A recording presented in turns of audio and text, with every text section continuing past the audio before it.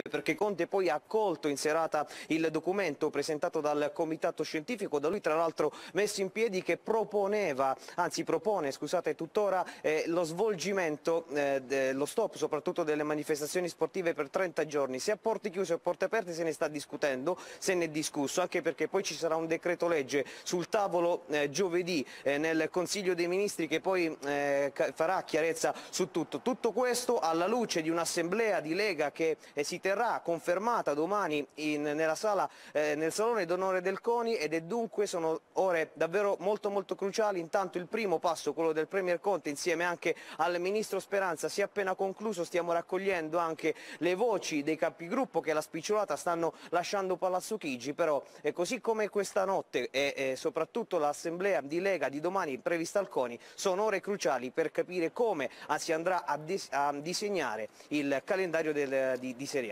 Grazie, grazie a Francesco Tringali, ti chiedo di portare eventualmente anche qualche ospite, ripetiamo non ci interessa fare politica, non abbiamo le competenze, non abbiamo le capacità e le qualità, ma neanche lo vogliamo fare, però vogliamo capire se si gioca o non si gioca, se si gioca a porte chiuse o a porte aperte, sicuramente un'altra gestione negativa arriva dalla Coppa Italia, domani in campo a Torino Juventus-Milan, partita rinviata 24 ore prima. Nel frattempo in serata alle 20.40 è arrivata quella che è una notizia un po' destabilizzante per tutto il mondo dello sport in generale, evitare per 30 giorni manifestazioni, anche quelle sportive, che comportino l'affollamento di persone e il non rispetto della distanza di sicurezza di almeno un metro. È una delle proposte del Comitato Tecnico Scientifico, come diceva Francesco Tringali, voluto dal Premier Conte, che potrebbe integrare ovviamente il decreto del primo marzo e che sarebbero da adottare per tutto il Paese. Buonasera ad Alfredo Pedulà, ben ritrovato. Ciao Alfredo. Ciao Michele, grazie, buonasera a voi. L'apertura fino alle ore 20 doveva essere eh, il caos, Marotta che parla, Zang, l'apertura di un'inchiesta dalla Procura federale, poi passa tutto, scivola in secondo piano, il caos Milan in terzo piano, il Cagliari che cambia allenatore e arriva Walter Zenga come tu avevi preannunciato nella serata di ieri in quarto piano, adesso il rischio che per 30 giorni si ferma il giocattolo, ovviamente ci sono, ripetiamo, scusa e poi ti lascio la parola, non parliamo di cose serie, lo fanno altre televisioni molto meglio di noi, noi parliamo di cose come il calcio, quando si gioca, quando c'è Juve-Inter e quindi in questo dico la gravità di fermare tutte le manifestazioni sportive, manifestazioni sportive per 30 giorni, gravità relativa rispetto a quelle che sono le gravità vere in questo momento in Italia. Alfredo. Sì, gravità, gravità, gravità, relativa rispetto a quelle che sono le, le, cose più gravi che noi abbiamo sempre premesso dallo scorso lunedì, non da ieri, da otto giorni, cioè da quando tocchiamo sistematicamente e quotidianamente questo problema. Io sono un po' in imbarazzo perché comunque la Serie B sta giocando, la Serie C, girone A e girone B non gioca a porte chiuse per tutelare degli incassi, perché le società di Serie C devono incassare, il girone C gioca, la Serie D non gioca, la Serie Dimmi tu gioca o non gioca. La vigilia di Juve-Milan a 24 ore circa dalla partita abbiamo questa decisione che secondo me doveva essere anticipata di almeno 72, 102, 82 o 172 ore. Non so quale sarà la decisione e quindi cercheremo di stare attenti. Se la decisione dovesse essere quella di giocare a porte chiuse, chi non ha giocato a porte chiuse adesso che fa? Si adegua a giocare a porte chiuse, mi riferisco ai due gironi di serie del girone A e del girone B di Serie C. La ritengo una soluzione che non fa altro che confermare l'inadeguatezza nel prendere decisioni che doveva essere una nel momento in cui è scoppiato il bubone. Allora, premesso che stiamo, tra virgolette, picchiando duro sul sistema calcio italiano perché ci svegliamo la mattina con una notizia, la sera andiamo a dormire con un'altra, perché litigano tra di loro, perché non trovano una soluzione, perché fanno dei rinvii, arrivano all'ultimo secondo e la stanno gestendo malissimo e c'è anche da dire che sotto il punto di vista politico ci dicono una roba una settimana, una roba che poi dura sette giorni, un'altra roba che dura 30 giorni e c'è anche da sottolineare uh, l'inadeguatezza in questo caso proprio anche dell'aspetto politico di chi ci sta gestendo e governando che probabilmente sta navigando completamente a vista. Gianluca Paparesta, buonasera, ben ritrovato. Buonasera, buonasera, Michele, buonasera, buonasera ben ritrovato. il collega di Radio 24, buonasera Giovanni Capuano. Ciao, Ciao Michele, Giovanni. buonasera. Buonasera e siccome c'è un calcio che va avanti e un pallone che rotola, noi l'abbiamo presa, abbiamo detto hai fatto il live Serie B? No, va in onda perché l'unica che parla di calcio questa sera è lei, Valentina Ballarini. Ciao Michele, buonasera a tutti. Eh sì, perché la B gioca. Dico anche tre, tra 30 secondi, se la mia voce continua a calare, io vengo lì e tu vieni qui, facciamo... che ovviamente il telespettatore ci guadagna, anche i contenuti, però facciamo che tra 30 secondi cambiamo Tutti buttare posizione. Giù, dai, dai, facciamo esci. un cambio, dai, tanto, Beh, porte sì. chiuse, porte aperte, non esagerare. Cosa eh? scusa Pedulla? Non esagerare, dai. Eh, vedi, te lo Ci dice anche guadagni il cambio, non, es- Eh. non esagerare, mi sembra che stia andando un po' oltre. La voce è Tu sai cosa io possa pensare? Ma la voce ti tiene per altri 47 minuti, tranquillo. Ah, sono 47, benissimo. Longari, buonasera dal Facciamo una, comparazione, facciamo una comparazione voce. Una comparazione voce, una comparazione anche ritorno a casa, come è accaduto lo scor- la scorsa settimana, lo scorso weekend a diverse squadre che pensavano di scendere in campo e, e poi hanno visto le rispettive gare sospese, è accaduto anche al Milan che sta facendo ritorno proprio in questi istanti a, a Milano da Torino dopo che è stato diramato il comunicato della Lega Calcio da parte del suo presidente D'Alpino che preso atto dell'ordinanza del prefetto di Torino del 3 marzo 2020 ha disposto il differimento a data successiva della gara della semifinale di ritorno della Coppa Italia comunicando che la suddetta gara è quindi rinviata a data da eh, destinarsi, una guerra di comunicati che ha coinvolto anche l'Inter, entreremo poi nel merito di questo dopo quanto accaduto ieri sera con la bufera social scatenata da Steven Zanga, oggi è arrivato anche un comunicato stampa che Beppe Marotta ha affidato all'Ansa in cui ha spiegato come la volontà nerazzurra sia quella di opporsi alla data del 9 di marzo per recuperare Juventus Inter. Parleremo anche dell'Inter di questa situazione davvero paradossale, forse l'Inter sta un po' esagerando, l'abbiamo detto già nella giornata di ieri.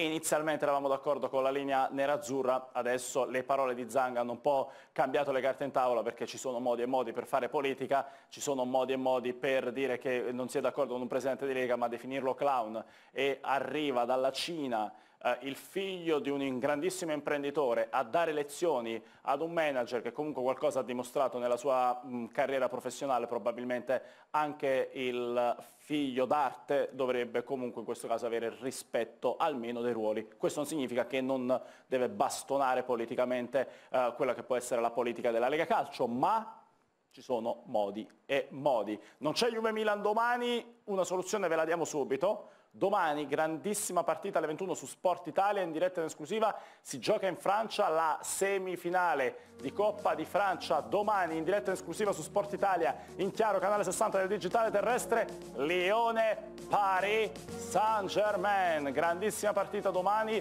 non c'è Juve Inter, ci rifacciamo con una grande sfida francese, poi Saint-Étienne Rennes, invece giovedì alle 20.55. Super spot e poi abbiamo tantissimo ovviamente da analizzare questa sera Sport Italia Mercato. Super spot. Giovanni Capuano, parto da te, Radio 24, non si gioca Juve, Milan rinviata a data da destinarsi, siamo alle solite, poco preavviso, scarsa organizzazione, poca collaborazione tra le istituzioni del calcio e non solo.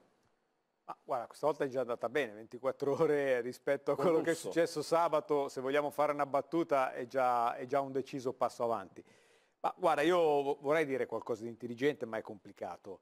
È complicato perché chiaramente siamo in una situazione in cui di ora in ora, di minuto in minuto cambiano, ca- cambia tutto, cambia lo scenario, eh, cambia lo scenario generale complessivo e quindi dentro cambia anche lo scenario di questo microcosmo che poi in realtà è importante perché noi chiaramente ci divertiamo, parliamo di calcio, di calciomercato, ci arrabbiamo, discutiamo, ci dividiamo. Stiamo parlando di un'azienda da miliardi di euro, lo sport italiano è un'azienda da decine di miliardi di euro. Quindi non, non è vero che, che è un turismo. dettaglio, è, un- è- è un pezzo importante di questo paese, quindi va trattato da qui in poi, diciamo da dentro questa emergenza, va trattato come un, un pezzo importante di economia, come ci sono tanti altri pezzi importanti eh, di economia. Io eh, devo essere sincero, la cosa dei rinvii delle partite continuo a non capirla. Cioè noi abbiamo scoperto dieci giorni fa che c'è un grosso problema nelle aggregazioni di persone.